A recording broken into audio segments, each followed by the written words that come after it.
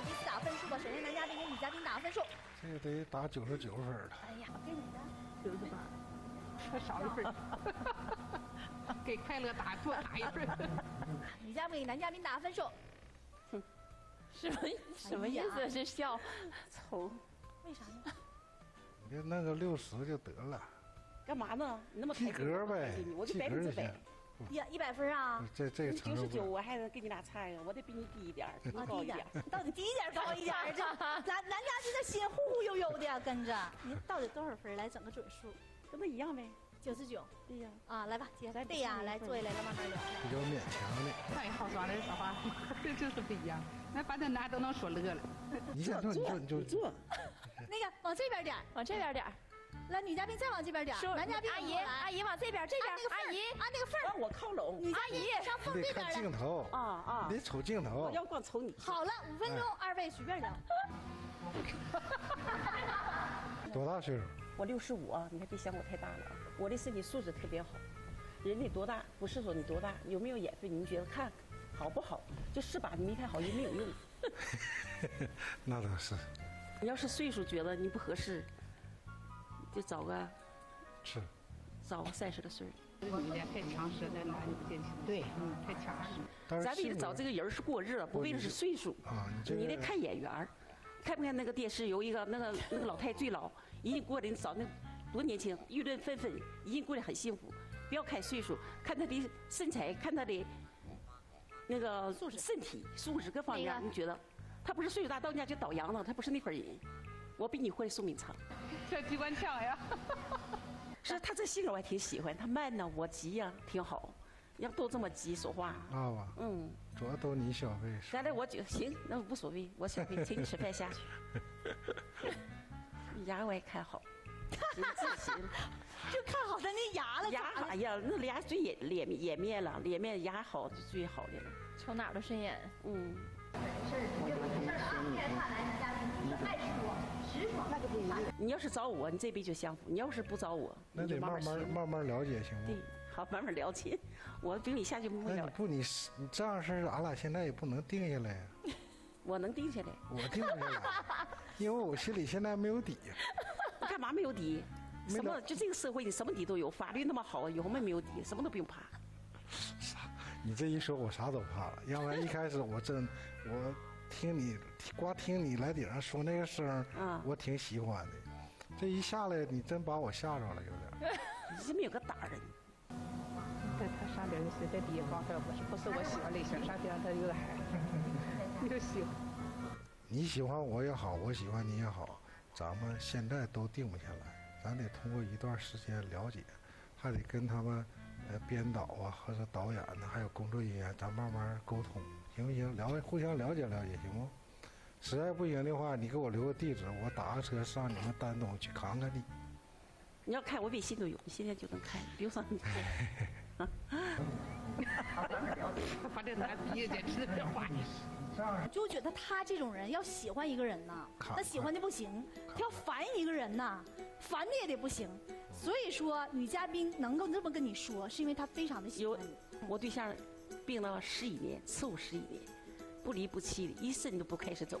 像你那个媳妇儿，你那个老婆，那么能挣钱，那么干我，还跳舞，还哪能歇心？搁家给老头子伺候好，家里摆弄好，他就是幸福。他没有福了找你，他没有福跟你俩分开了，没有那缘了。来看密室女嘉宾啊，哪个想说话？我跟你讲，密室你还想说话，我都插不上话。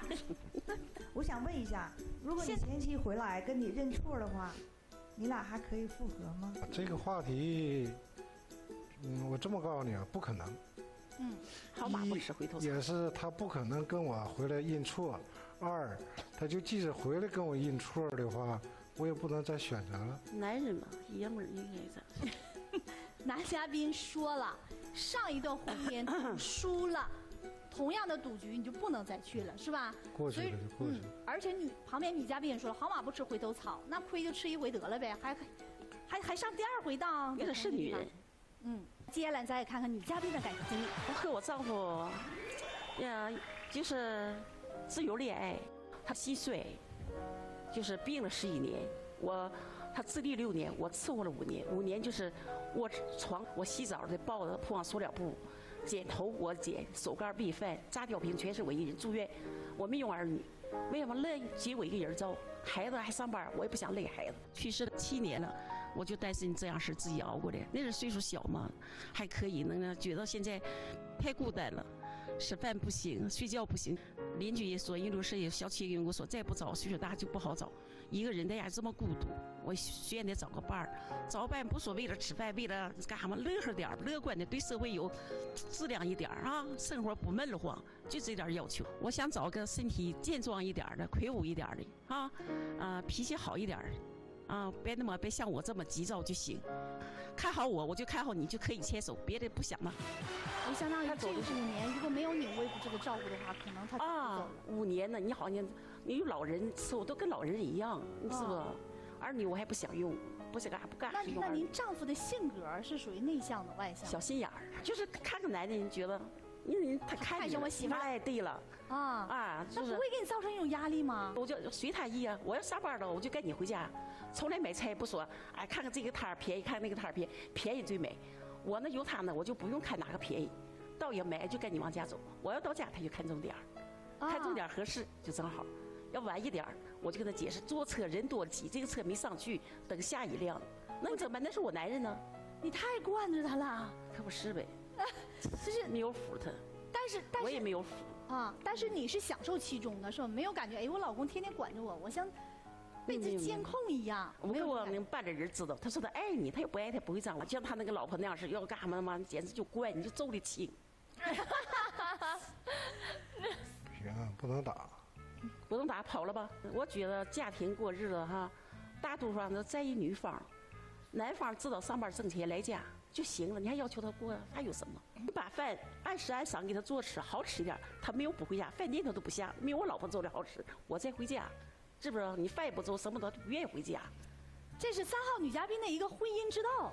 但是我听她讲完之后，其实我稍微觉得她有点委屈啊。这搁家付出的太多了，是啊，伺候家里的人，然后呢每天准点下班，怕对方生气，对，可能家里所有的家务都由你一个人完成，就一个人，然后你还享受其中，我觉得真的是，我不和我男人一样，不和我老公一样，为什么？我觉得他是顶梁柱，你把他气倒了、气哈了，还得我伺候。嗯，我尽量我我让他点儿，哄他啊，让他身体健壮点儿，别给他气病了。呃，按照传统来说，他是一个贤惠的内助。本来就是这些事儿嘛，不是说差不多。那家庭就是这样的，对，必须得这样。你是前天后盾，完了会儿把家里管好，男人在外面做事业什么。